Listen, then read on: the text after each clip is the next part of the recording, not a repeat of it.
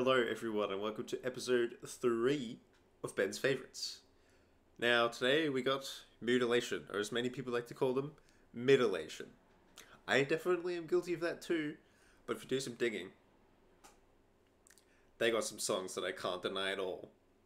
So, today we got No Mercy for Humans from Black Millennium, which overall is an album I was not that huge on, but I had two songs that were like, ooh. And this is a long title, so I gotta read this one. Travels to sadness, hate, and depression from remains of a ruined, dead, cursed son. On one hand, we have a song that's really fun, quite thrashy, and dare I say upbeat. Then on the other hand, we have a song that pretty much reflects its title. It's not fun in the slightest, and is genuinely very scary at times.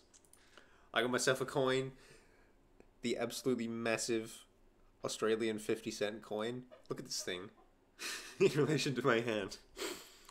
If we get heads, we're going to do the happy one. If we get tails, though, we have a travel to sadness, hate, and depression on our hands. Alrighty.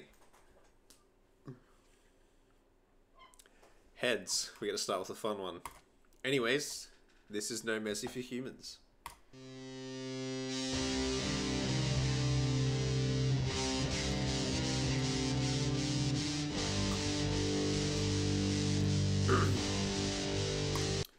Straight off the bat, really. Oh, what's the word I'm looking for? Bombastic kind of intro. You can tell when something's about to go down. This song always gave me like an Iron Maiden kind of vibe for some reason. Maybe because it's more like diatonic minor notes and blah blah blah. Oh, also the left and right guitar underplay on this song is insane, and you can bet that I'm going to touch on that.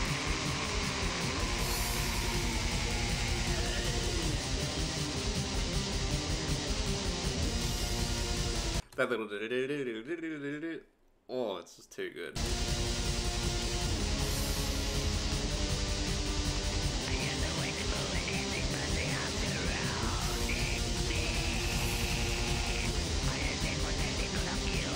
It's a little sloppy though. Come on, guys. Come on, guys.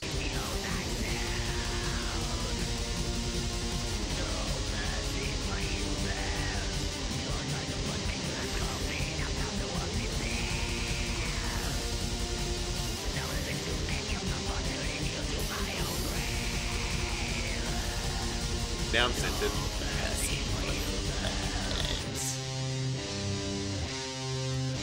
I'm this big bridge section. Whew. That's so weird.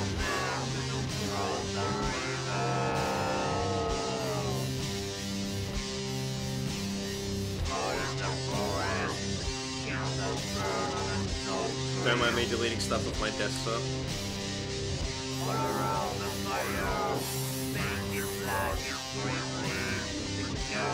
It's got this kind of 6-8 kind of groove to it. 2, 3, 4, 2, 3, 4, 5, 6, 1, 2, 3, 4, 5, 6. It should be no secret by now that I'm a sucker for that time signature, so we good.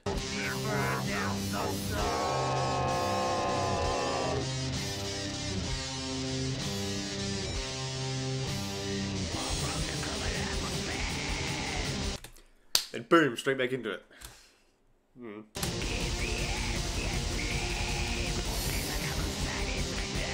Oh, that's one of those moments where you realize it's really off time. Listen again.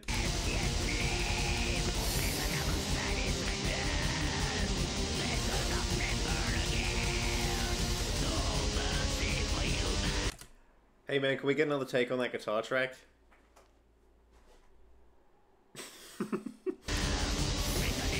oh, what's that?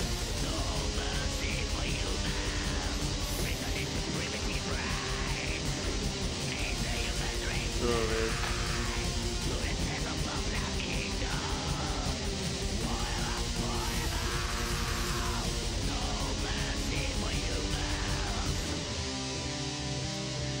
Then back to the start. Oh, so good. So good.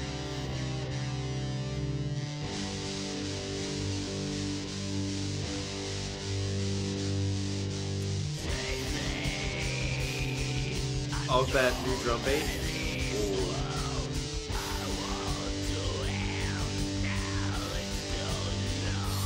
Man, it's such a shame that they couldn't get a better sounding drum machine too. Like, which which is kind of hypocritical for me because you know I use drum machine, but like, that's all you got. Uh, okay.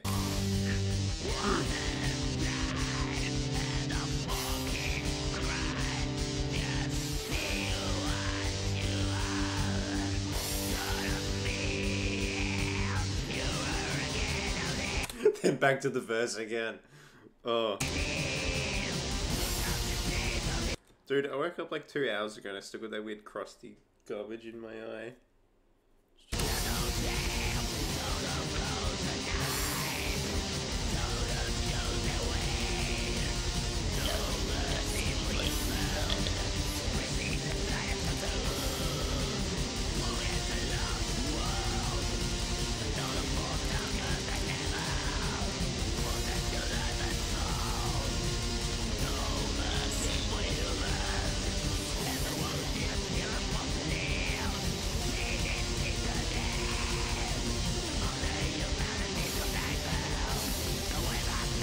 Man, this is not really a song that you could say too much about, other than it's fun, kinda, and and thrashy and straight to the point.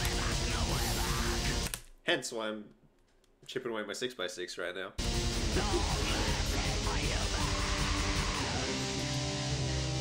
then they go back to the intro again.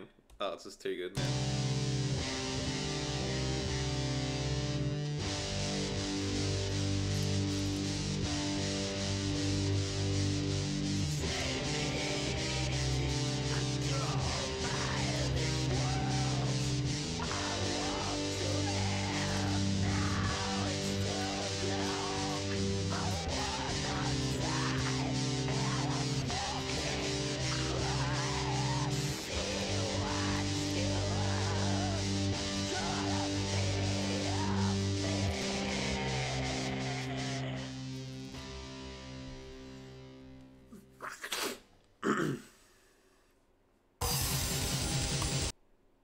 Hello.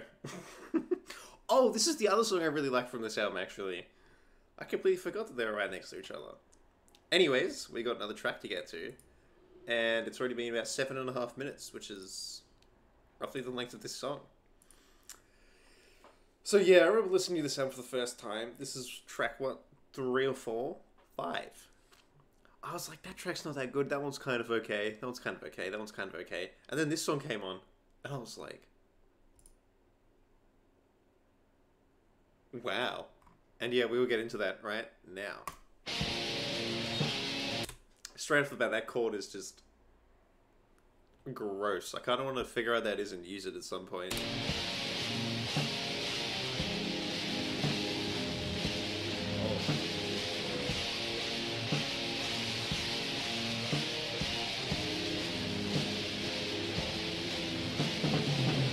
The way that they change from a minor to major chord I'm a sucker for when bands do that. It kind of gives you this slight rays of hope, and then no. You momentarily forget that you're listening to one of the most bleak black metal songs I've ever heard in my life.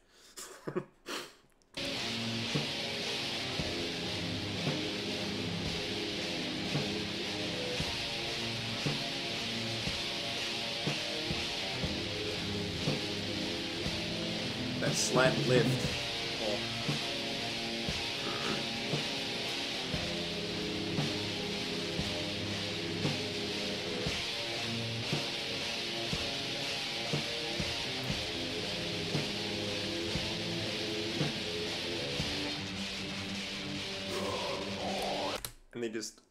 speed it up on a dime. They like triple time it because at the start it's like duh, duh, duh, and now we're at what?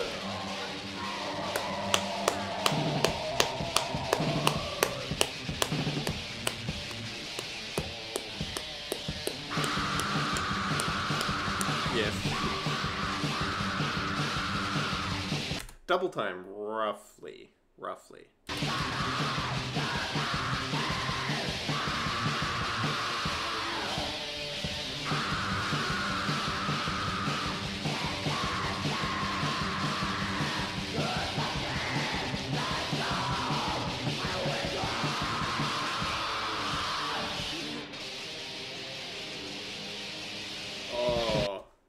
So good with the stacked thirds, kind of just like oh.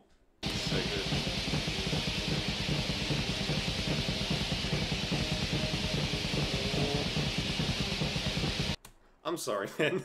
The drummer on this album did not do the greatest job in the world. Anyways.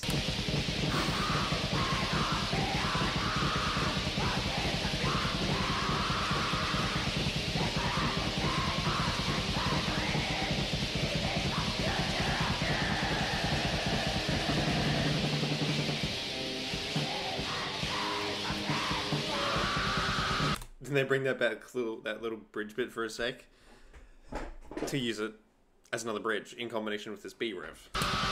This little bit. A. B riff. Another new bit.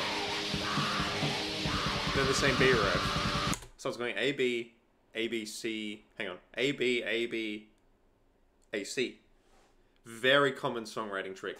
You kind of give them the same thing twice in a row, and something different for the third time.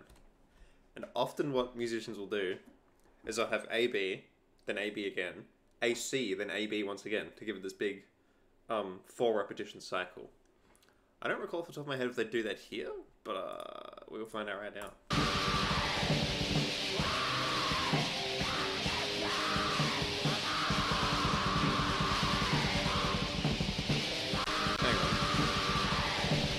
Oh, A B A B A C A C. Okay, that's clever too.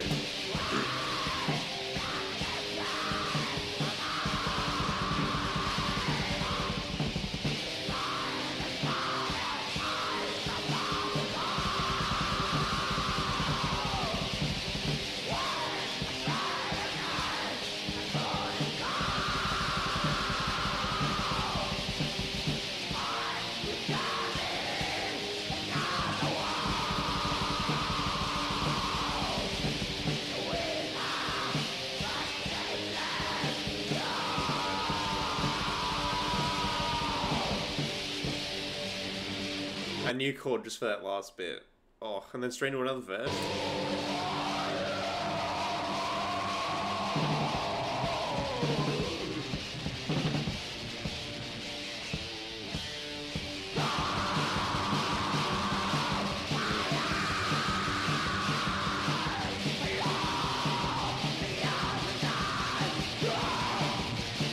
Once again, another really cool stacked thirds kind of bit.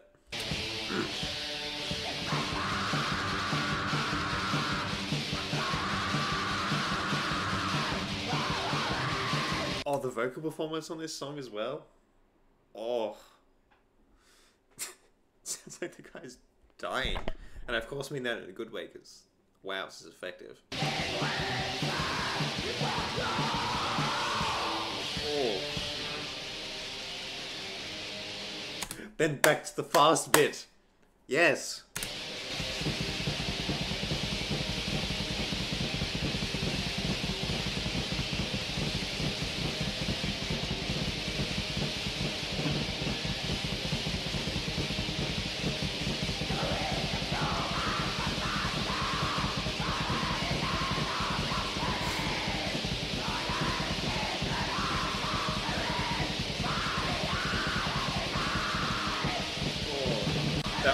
That one little high screen there.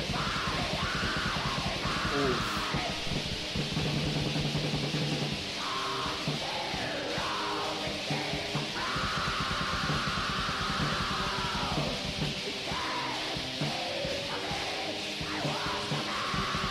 Switching between half and double time. Smart, smart.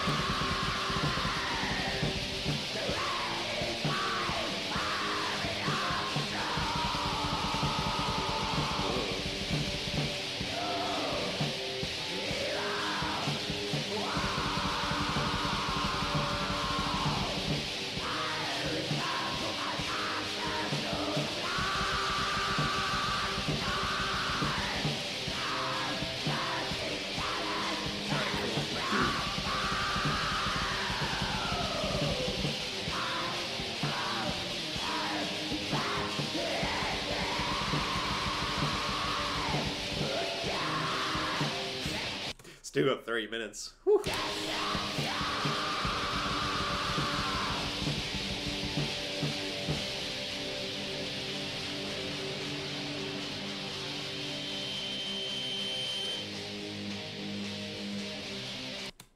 Hey guys, we're five minutes in. Do we repeat something else once again?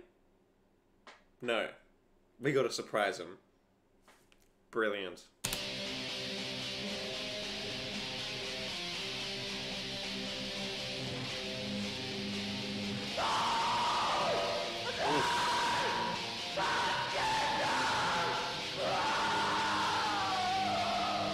That would have been so hard to execute without hurting yourself, Jesus.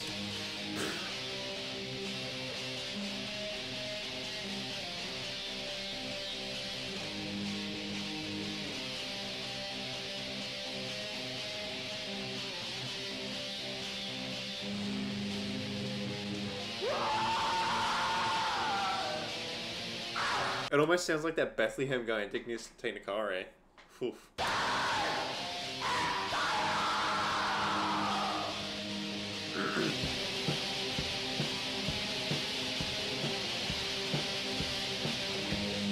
Speeding it up a tiny bit, and also bringing back a couple of the little stacked thirds and chords from earlier. Good.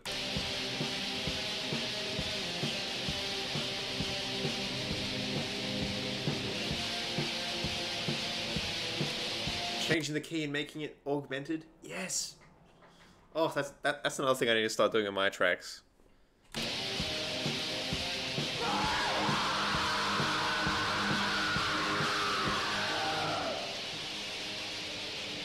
And then speed it up again with another new part. Nice. Nice.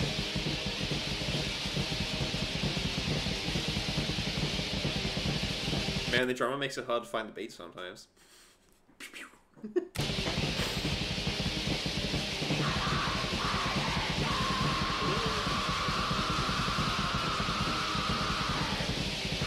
but B-Man, this is where they started using a drum machine.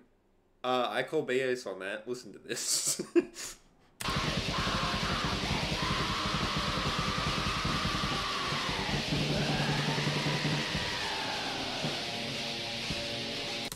then they take it back to the start. Yes. Ugh.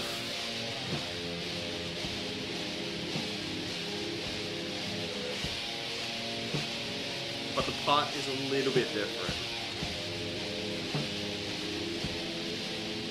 Actually, no, that particular bit was exactly the same. Maybe I'm thinking of a tiny bit later on, we shall see. It's been like a month or two since I last listened to this, so give me a break.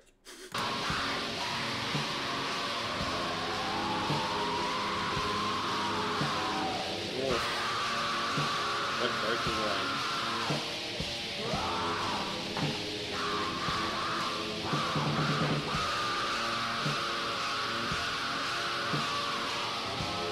Almost sounds like an angry cat that you're trying to capture off the street or something.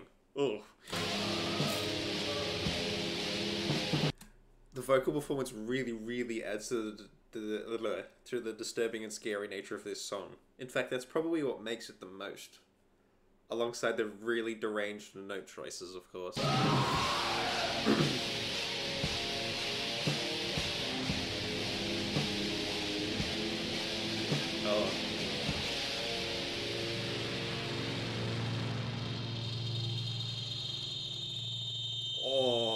Feedback is ear piercing.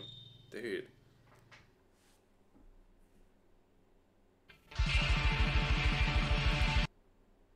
Yeah, this is one of the tracks where they bring in the drum machine for the first time, and I'm not a fan of all at all.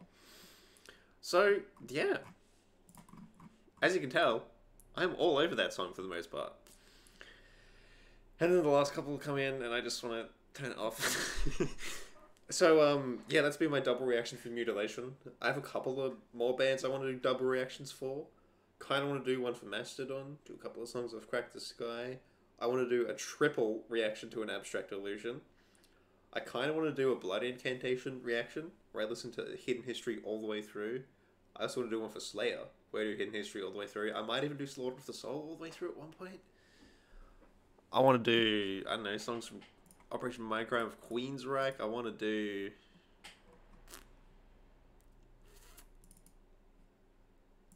I want to do some, like, Deafheaven.